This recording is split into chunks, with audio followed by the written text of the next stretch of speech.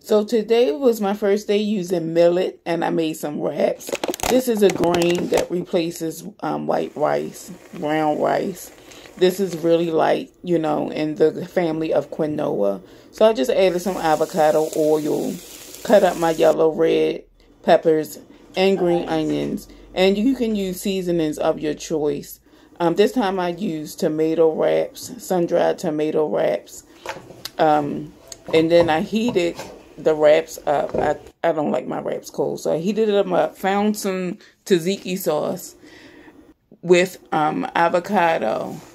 And then, um, as you can see, I use my hand to flip to flip my wraps. You know, get it nice and neat in the pan. And you can cook this as long as you want, make it soft as you want. In the end, when it finished in this video, it's going to look just like quinoa. Um, I added my tzatziki first at the bottom of the wrap.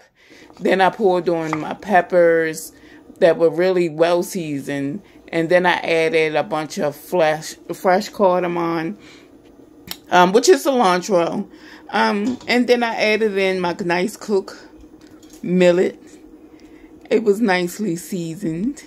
And it, you know, was really light. Not as heavy as rice, you know pet